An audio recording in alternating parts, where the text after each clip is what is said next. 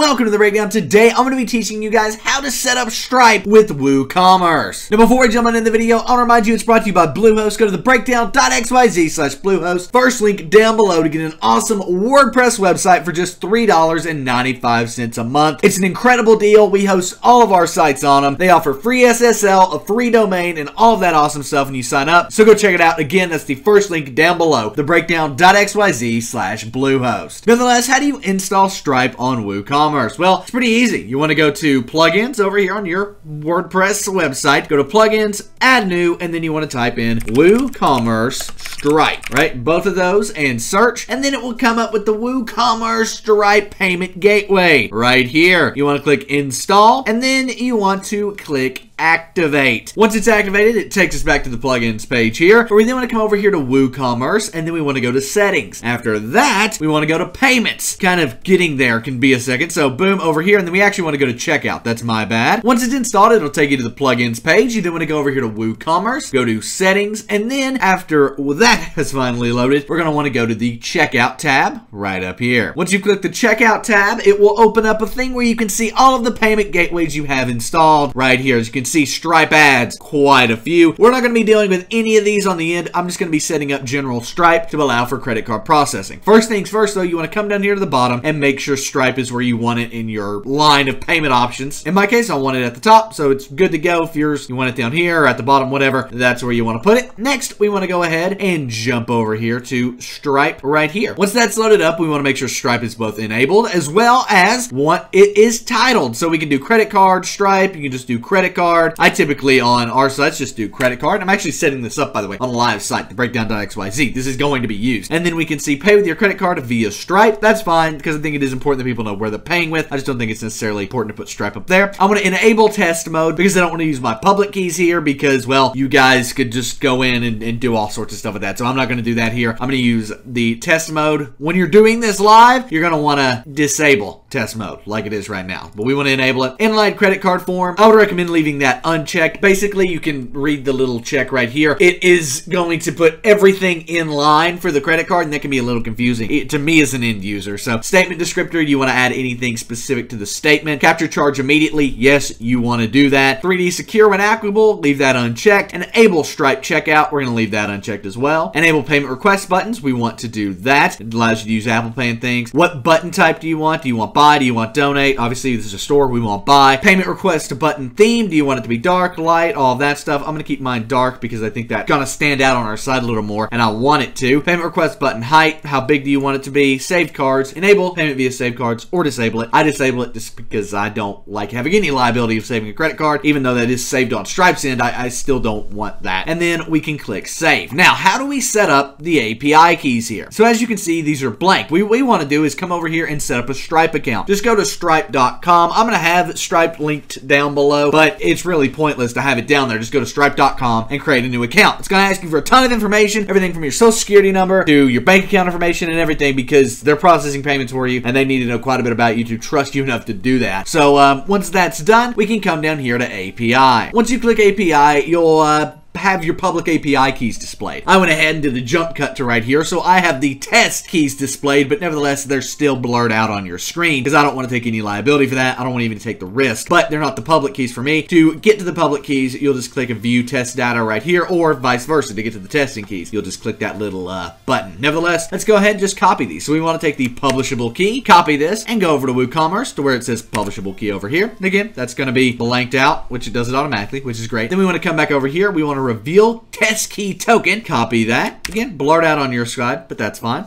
Come back over here to WooCommerce, paste that in, and then we can click Save Changes. It's as simple as that. It's now set up. I'm going to go ahead and do a quick little payment process for you guys just to show you it's working. It'll show up on Stripe as a test, and we'll be good to go. So once you're on your checkout page, I just went through, went to the shop page, bought a product, got here to the checkout page. Now what we want to do is uh, copy this right here. It's our trusty little fake credit card number for Stripe. And then for the expiration date, we can do whatever as long as it's in the future. I'm just going to do 11, let's say 1119. And then for the CVV, we can just do 111 and place order. It will now go through and uh, yeah, submit an order via Stripe. It's not a real order, obviously, it's fake, but it'll allow you to make sure everything's working and see everything on the Stripe dashboard. I'll uh, see you guys once it's finished processing. There we go. It just processed and it took me to this page where, long story short, there's an error here because I've got to set some things up. That's nonetheless, let's go back over here, where if we go to home, we should be able to see a payment coming through. That's right, it's a test payment, so it doesn't show up on there. If we go over here to payments, there it is, right? There's the payment we just sent right here via Stripe for testing. Awesome. So there's that, guys. I hope you enjoyed this video. If you did, please give it a thumbs up. Also, there's one thing I want to do real quick. If we jump back over here, as you can see, we need to set up WC API underscore Stripe to our